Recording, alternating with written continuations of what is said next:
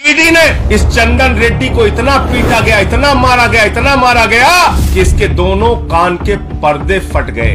ED, जो देश की सबसे ताकतवर जाँच एजेंसी के रूप में आप सबके सामने प्रस्तुत की जाती है, वो किस तरह से जाँच करती है, किस तरह से लोगों को प्रताड़ित करती है, किस तरह से उनके परिवारों को प्रताड़ित करती है, और तो और, जिसके कारण आज मैं पीसी कर रहा हूँ। एक व्यक्ति को कहा गया, तेरी बेटी कॉलेज कैसे जाएगी, हम देखेंगे। बेटी को धमकी पत्नी को धमकी, बूढ़े माँ बाप को धमकी, मारना, पीटना, प्रताड़ित करना और उसके बाद जबरन बयान लेना। ये मैं नहीं कह रहा हूँ, ये न्यायालय के सामने उन लोगों के बयान है। ये पहला नाम है चंदन रेड्डी का। हाई कोर्ट में पिटीशन करते हैं कि ईडी ने इनको मारा और कहा, जैसा हम कहते हैं वैसा लिख, वरना तेरे परिवार का वो अंजाम करेंगे। तो कहीं मुँह दिखाने लायक नहीं रहेगा। ये सारी बातें इसने लिखी और इतना ही नहीं, इस चंदन रेड्डी को इतना पीटा गया, इतना मारा गया, इतना मारा गया कि इसके दोनों कान के पर्दे फट गए। अरुण पिल्लई वो शख्स है जिसकी पत्नी को,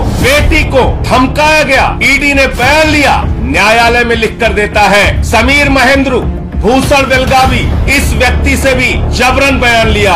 ये राघव रेड्डी छठवा नाम। इसने न्यायालय के सामने जाकर कहा कि न्यायाधीश महोदय, हमको तो दबाव बनाया जा रहा है राजनीतिक नेताओं के नाम लेने के लिए।